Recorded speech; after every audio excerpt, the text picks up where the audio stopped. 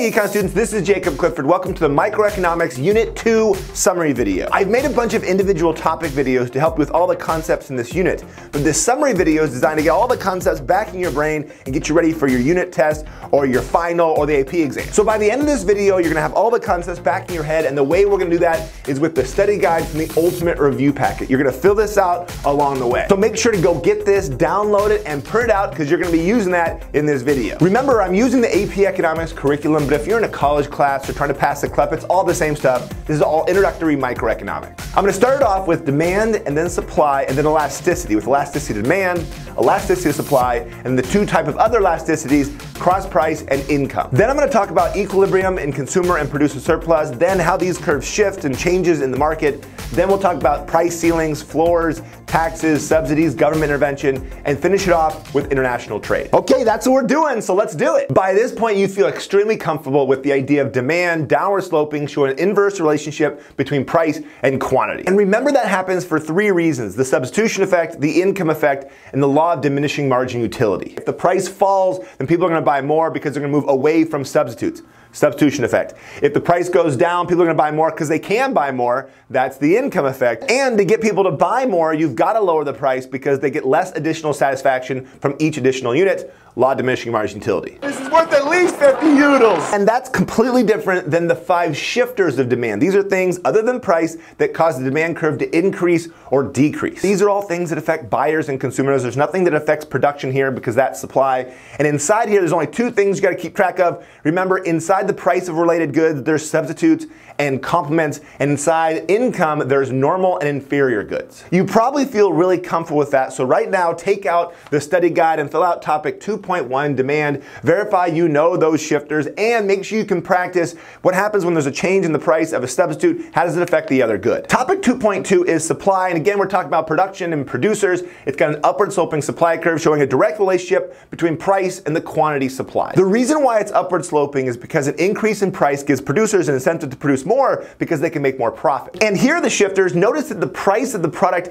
does not actually shift the supply curve, but the price of resources, the inputs to producing the product does shift the supply curve. And the thing you gotta watch out for here is an increase in supply is always a shift to the right. It never goes up. Don't think of that. That's a decrease in supply. For example, when the government gives a subsidy, which is money to producers to produce more, that causes supply to shift to the right. That's an increase in supply. Now, a tax on producers that would decrease supply, shifting supply to the left. I'm sure you got it. Take out the study guide and fill out topic 2.2 for supply. Make sure you know those shifters. A lot of the time, your teacher is going to move to putting supply and demand together. But before we do that, let's jump into elasticity. And remember, there's four types of elasticity and four different equations you got to know. Elasticity of demand, elasticity of supply, cross-price elasticity, and income elasticity. But they all show the same idea. They show how sensitive quantity is to a change in price and show you the shape of a demand or a supply curve. If the demand is really steep, then that shows that quantity is insensitive to a change in price. So a big change in price leads to a small change in quantity. If a demand or supply curve is real flat, then quantity is very sensitive to a change in price. A big change in quantity from a small change in price. And if the quantity changes by the exact same amount as the price, then that's called unit elastic. Now, that's a gross oversimplification because really it's not about the slope of the demand curve. You actually have to do the calculations because on the same demand curve, you might have down here that is more inelastic and up here that's more elastic. It all depends on the numbers. So just remember, elasticity is not the same as slope. And remember these numbers mean something. So if the number is zero, that means the demand is perfectly inelastic. People are gonna buy this no matter matter what. When the price goes up, they're gonna buy the same amount. If it's less than one, it's relatively inelastic. If it's one, unit elastic. Greater than one, it's relatively elastic. And the last one, perfectly elastic. And you need to understand that there's reasons for this. If the demand is more inelastic, that's because it has few substitutes and it's a necessity. If it's elastic, it has a lot of substitutes and it doesn't really matter if you get it now or get it later. When you're looking at the elasticity of demand, you can also use something called the total revenue test. It only works for demand, it doesn't work for supply. If the price goes up and the total revenue goes up, or if the price goes down, total revenue goes down, the demand is inelastic. If price goes up and total revenue goes down, or if price goes down, total revenue goes up, then the demand is elastic. So on a test, your teacher's probably gonna say, okay, here's the price, it was $10, it fell to $8, and the quantity increased from 10 to 15. What's that demand curve, elastic or inelastic? So there's two ways to get the right answer. One is looking at the elasticity coefficient. That shows you a 50% change in quantity from a 20% change in price. That means the demand is elastic because the elasticity coefficient is greater than one. Or you can use the total revenue test. The total revenue before was $100, the total revenue after is $120.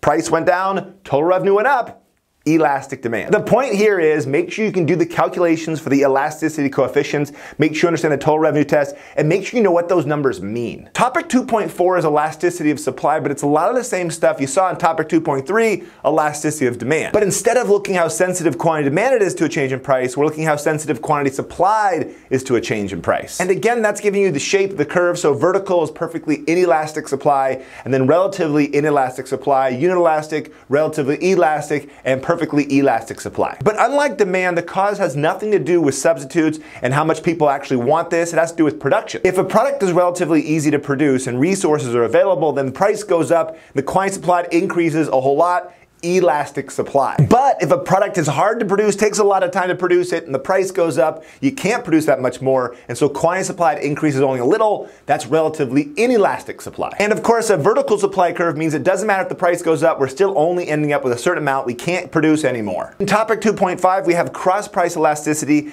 and income elasticity, and the equations are pretty much the same as you've seen before. For cross price, it's the change in the quantity of one product relative to a price change in a different product. Remember, it tells you if two products are substitutes or complements. And for income elasticity, it shows you the change in quantity from a percent change in income. And this shows you if the good is a normal good or an inferior good. The one thing to watch out for is notice this is the percent change in quantity and the percent change in the price or the income. We're not talking about the raw change. So be careful. When they give you the numbers, make sure you have to calculate percent first. I know I'm going really fast through that, but you've already seen my other videos and you get a chance to practice right here on topics 2.3 through 2.5 on the study guide. So fill out that whole section. If you can do that, you totally get this. Okay, here in 2.6, we can finally put demand and supply together. You come with equilibrium and you understand the idea of consumer surplus and producer surplus. Consumer surplus is the difference between what people are willing to pay, what they actually did pay, and producer surplus is the difference between the price and what sellers were actually willing to sell it for. When you put consumer and producer surplus together, that gives you the total surplus, and when this is maximized, a market is efficient. But what happens if we produce less quantity, we end up over here. Well, we end up with dead weight loss, which is lost consumer and producer surplus and an inefficient market. Remember, you're gonna see dead weight loss a whole lot, and you can have it on either side. So if we produce too little, we end up with dead weight loss here. If we produce too much, you can also have dead weight loss over here. But let's go back to consumer and producer surplus. There's a difference between being able to spot it and be able to calculate it. Make sure you can do the calculations and understand it's one half base times height to give you that triangle. So you're gonna have to practice, so take out the study guide, fill out topic 2.6, calculate that consumer, and that producer surplus. Now topic 2.7 is probably the most important one because now you have to take supply and demand, start shifting them and identify what's gonna happen to price and quantity in the market. It starts off by talking about disequilibrium. So remember when the price is below equilibrium, we have a shortage because the quantity demanded is greater than the quantity supplied. When the price is above equilibrium, we have a surplus because the quantity supplied is greater than the quantity demanded. Again, a way to help you remember that idea is when the price is below equilibrium, it's short, that's a shortage. And remember that price never shifts the curve. A change in the price doesn't shift the demand or the supply at all. It just moves along the curve, changing the quantity demanded and the quantity supplied, not the demand and the supply. And that's one of the things your teacher or professor are totally gonna test you on. They're gonna say, okay, if the price goes up for corn, what happens to the demand for corn? The answer is nothing. The demand does not change only the quantity demanded. So if the price goes up for corn, the quantity demanded will go down and will move along the curve, but it does not shift the curve. Every year, some students are like, no, no, you said price does, price of substitutes, or the price of resources. Yes, price of substitutes affects the demand, price of resources affects the supply, but the price of that actual product does not shift demand or supply. So here's a little trick for you. Whatever's on the y-axis, that doesn't shift the curve. So if a change in price occurs,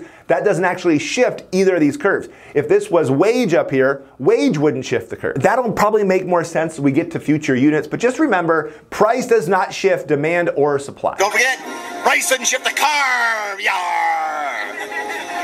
Thank you. Okay, now let's talk about shifting these curves. It looks complicated, but remember there's only four things that can occur. Demand can go up, demand can go down, supply can go up, or supply can go down. And in each of those situations, there's gonna be a change in the price and the quantity, and that's the most important thing, the thing your teacher wants to make sure you understand how to do. If there's this change in the market, what's gonna happen to price and quantity? Now, I don't really have an acronym to help you, okay, if supply increases, the price goes down, quantity goes up. Don't do that. Instead, when in doubt, draw it out. Draw the graph every single time, it'll give you the right answer. And when there's a double shift, you can do the same thing. When the demand goes up and the supply goes up at the same time, you're gonna find out that two different things are gonna happen. Price goes up, quantity goes up when the demand goes up. When the supply goes up, price goes down and the quantity goes up. When you combine those results, you get the result of a double shift. Quantity is gonna go up, the price is going to be indeterminate. Remember, that's the double shift rule. When two curves shift at the same time, one of them, either price or quantity, is going to be indeterminate. How do you know which one?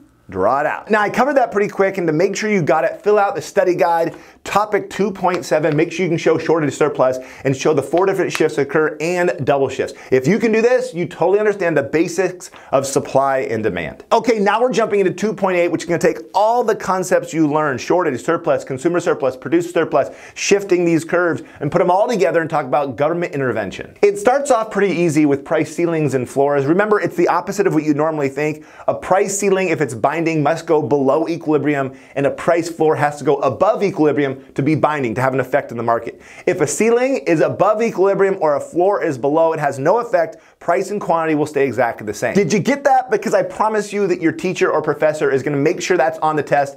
They're gonna put a price ceiling above equilibrium and say, okay, what's gonna happen? And you go, oh, there's gonna be a surplus. Nope. A price ceiling above equilibrium is not binding and has no effect on the market. So here's the rule. When you're taking your test and you see the word price ceiling or floor, ask yourself first before you do anything else, is it binding? Is it in the right spot? Price ceiling is a maximum the price. It can't go up to equilibrium. We end up with consumer surplus, produce surplus, and deadweight loss. A price floor is a minimum of the price. It doesn't let the price go down. And again, we end up with consumer surplus, produce surplus, and deadweight loss. And remember, your teacher's not just gonna ask you to identify those areas, you have to actually calculate those areas as well. Now, for most students, the hardest part in this entire unit is when you go to the next level up and you start looking at taxes. Taxes shift supply to the left. The vertical distance between the supply curves is the amount of the tax per unit, and you end up with a consumer surplus, producer surplus, total revenue that goes to the government, and deadweight loss. I've made two different videos that talk about this concept and help you practice, and there's a reason for that. This is tough. You're gonna have to sit down, do those calculations, find those areas, and find those boxes. And the problem here is there's so many different questions your teacher could ask that can say, okay, where's consumer surplus before the tax or consumer surplus after the tax? How much of that tax revenue is paid by the consumers? Where's the tax revenue in general? Dead weight loss. There's so many questions, so you've got to see them all and you got to practice them. And the best way to practice is to fill out the study guide. Topic 2.8, you've got the tax right here. I gave you both the areas and the numbers, so make sure you can spot the area, and if you can, also do the calculation to actually calculate consumer and produce surplus and get the numbers as well. And there's a tax, there's a box of tax revenue that goes to the government, or a tax wedge, and sometimes that's paid by consumers, sometimes it's paid by producers, and sometimes it's shared by both. For example, if the demand and the supply have the same elasticity, the tax burden will be on buyers and sellers equally. The way you can spot that is looking at the box and seeing how much dug into consumer surplus and how much dug into producer surplus. Watch what happens when the demand curve becomes more inelastic than the supply curve. The consumers pay more of the tax. They have bigger tax burden than those producers. And if the supply becomes more inelastic than the demand, then the burden of the tax goes on producers. The best way to show it to you is like this. Notice the supply curve is shifting the same exact way for every single one of these. The only thing that's different is the demand curve and its elasticity. When the demand is perfectly inelastic or vertical, then consumers pay all of that tax.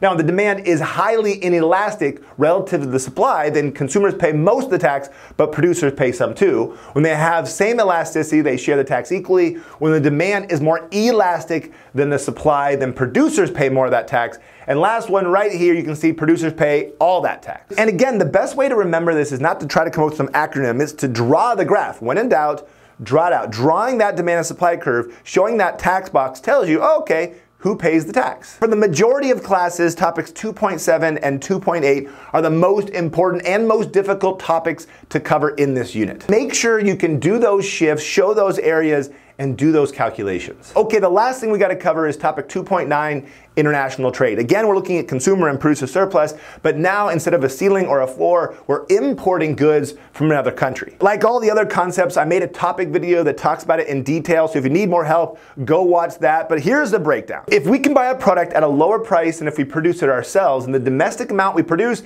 is here, and the amount we're gonna import is the difference between that quantity supplied we're gonna make ourselves and the quantity demanded that people actually want. So people are gonna consume this amount. That means consumer surplus will be here, producer surplus will be here, and there's no deadweight loss. Notice this is different than anything you've seen before because there's not a shortage right here. Instead, we're importing goods from another country. But if there's a quota or a tariff, then that world price goes a little bit up, so the consumer surplus gets smaller and the producer surplus gets bigger. This is not really a hard topic, it's just a reapplication of concepts you learned earlier in the unit. But like always, make sure you can actually calculate the area of consumer surplus and produce surplus and identify how it changed when there's a change in the world price. And if there's a tariff, be able to spot and calculate the tariff revenue box. So to make sure you can do that, take out your study guide, answer those 10 questions for topic 2.9 international trade. Okay, that was an overview of the entire unit. You've got the whole study guide filled out. Of course, there's answer keys in the ultimate review packet. So go in there, see how you actually did. If for some reason you're like, okay, I don't understand that right answer, go back and watch the topic video on that topic to verify you're getting it. Overall, this is not a super hard unit. In fact, I would give it a three out of five in terms of difficulty, but in terms of importance, it's five out of five. You've got to know supply and demand and be able to shift these curves. And you're also going to see many of these concepts like consumer and produce surplus and deadweight loss in units 4 and unit 6. As always, thanks so much for watching my videos and getting the ultimate review packet. Make sure to subscribe and like this video and let me know if you need anything else to help you learn and love economics. Thanks for watching. Until next time!